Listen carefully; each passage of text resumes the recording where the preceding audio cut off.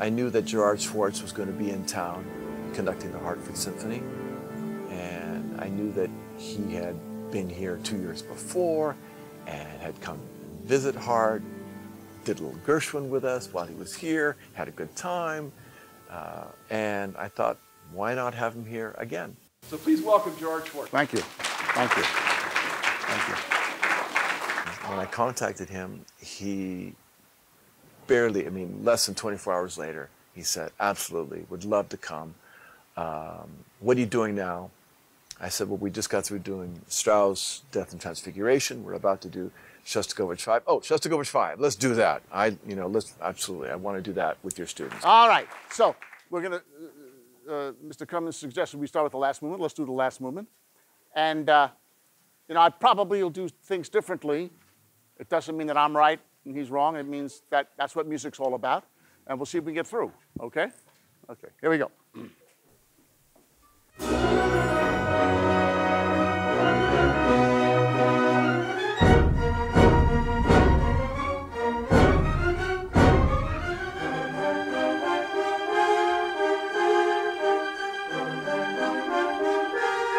You know, he has this way of, of actually criticizing without criticizing.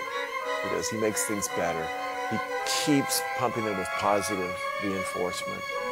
And, and yet, after he said a few things, you realize, oh, wait a minute. He just told them, you know, he just told them there's actually a way that they could do it better. So now, this, my little speech about this movement was very sarcastic, very uncharacteristic. It's not, you know, scherzo. I said scherzo? It's not a scherzo at all. It's a diabolical movement in three. And there are no staccato marks. Bum, da, da, da, da, da, da, da, da, da. Now, one could say, how come am I thinking that way, right? Because when the bassoons come in and play it in the piano, they're marked with all staccatos, aren't they? So, if Shostakovich marked all those with staccatos and these without staccatos, maybe he'd like them differently played. Maybe. One could say, oh, he made a mistake and he really wanted it to be short, or blah, blah. For me, I want to exaggerate. So I want it to be almost vulgar. Dee, da, da, da, da, da, no space. Da, da, da, da, dee. Obviously, you do it as it comes anyway, which is fine. Then, when the woodwinds come in, you have this shriek. And then immediately, piano and short. E flat clarinet, huh? Okay, here we go. close to the bridge, basses, close to the bridge.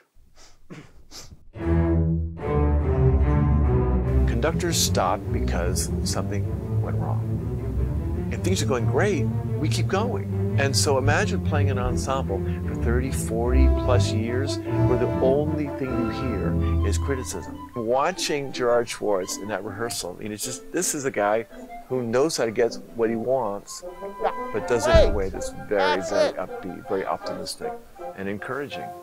Could even be more um, uh, pixie-like.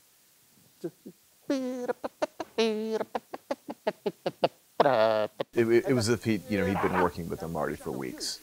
I want everything exaggerated. It's close. It's close. Once more. Everything long. Every quarter note long. One and. That one hour with Gerard Schwarz gives them a taste, and a flavor of, okay, this guy was music director of the Seattle Symphony for 28 years. He's played principal trumpet in the New York Philharmonic, uh, even before that. So what I'm looking at, I'm a player up there on the podium, okay, so this is what's waiting for me when I get out there in the profession. And if I can do it for this guy, then you know, then I can do it out there in the world.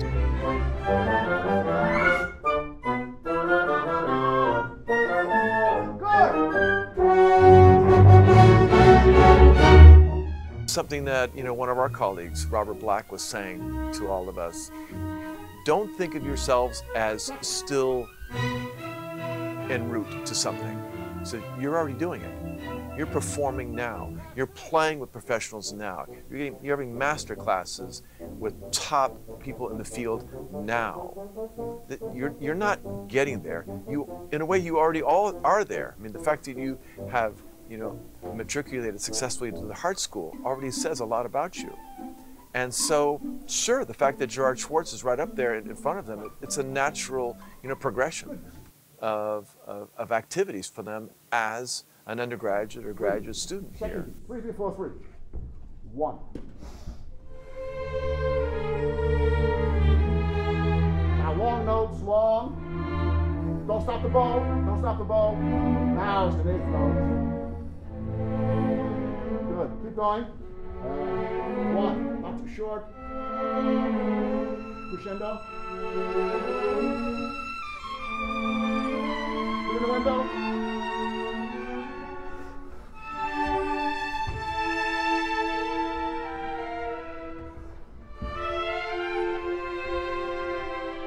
The first thing that Jerry Schwarz said to me when he was done, he said, "They follow me."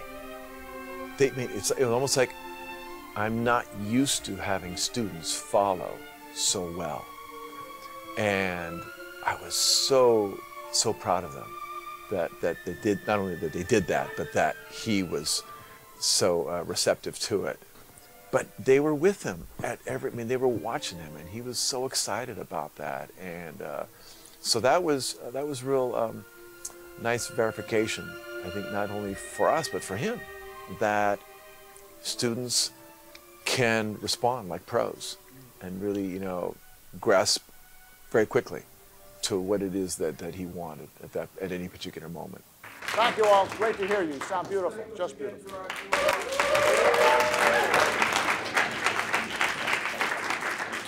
That's great. Great. my students to be able to play Shostakovich with Gerard Schwarz was not just a thrill for them, but also just a really successful experience for everybody in the room. I, I am going to long remember the expressions on their faces, not just as he was talking to them and urging them on, but also as he was conducting them. It was just, they were all pretty giddy about the whole experience. They, they were having a great time. I, I think, you know, a number of them probably thinking, wow, you know, this is actually really fun. You know, I, I, can, I can see myself doing this. If this is what it's about, then yeah, I want more of this.